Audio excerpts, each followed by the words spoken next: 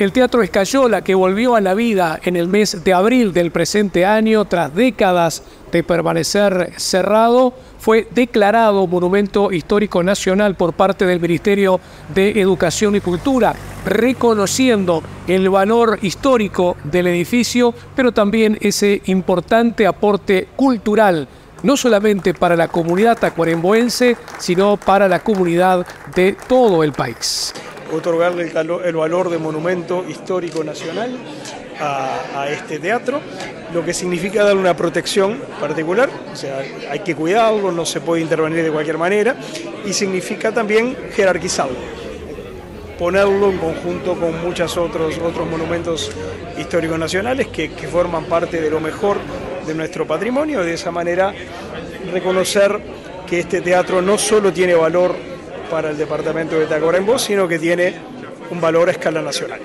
Esto jerarquiza el teatro, jerarquiza el departamento, es una expresión cultural que los tacuaremboenses lo sentimos como propio y haber recompuesto este espacio, este lugar de cultura, de arte, en el cual hay toda una historia que debemos de saber también proyectar y desde esos valores culturales eh, cimentar lo que es el, futuro de, la sociedad tacuaremboense.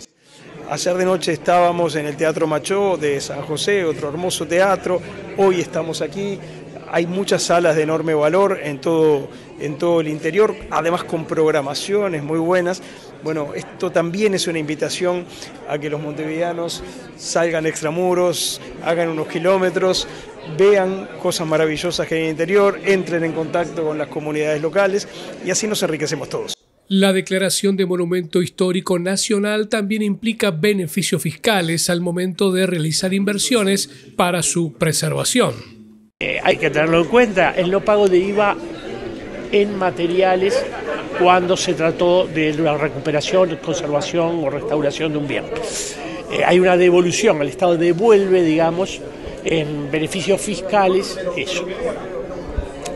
Y tiene también, por supuesto, la posibilidad de que el, gobierno nacional lo apoye en eh, algún proceso eh, que requiera en el tiempo, ¿no? Porque, bueno, mm, este, acá ha habido un esfuerzo muy importante de lo local, eso nos exige también a comprometernos desde lo nacional.